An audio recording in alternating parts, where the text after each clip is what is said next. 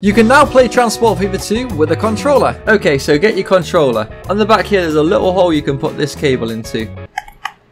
Nice. Now grab the other end of the cable and you're going to plug it straight into your USB port.